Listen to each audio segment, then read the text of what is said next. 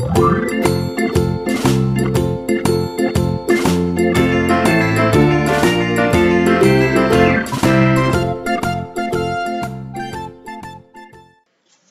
kesempatan kali ini kita akan membahas sebuah soal di sini sepeda motor dapat menempuh jarak 60 km dalam waktu 45 menit.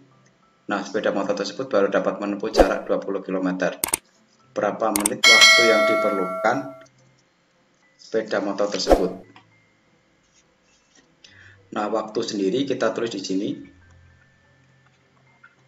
Waktu rumusnya adalah jarak dibagi dengan kecepatan.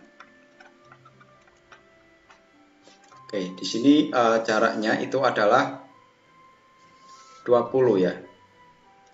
20 km dari sini. Kemudian per uh, kecepatannya. Nah, kecepatannya itu adalah 60 ya.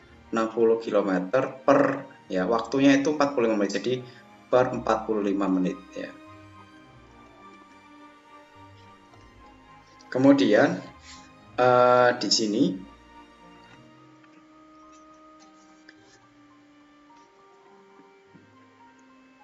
biar mudah kita jadikan perkalian ya karena di sini ada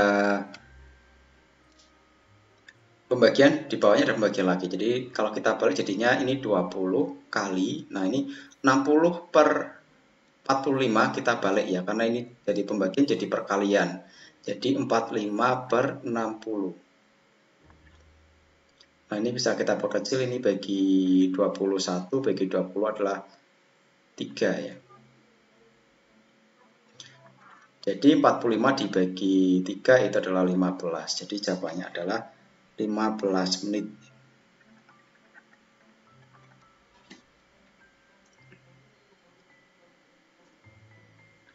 Nah, itu saja yang bisa saya sampaikan.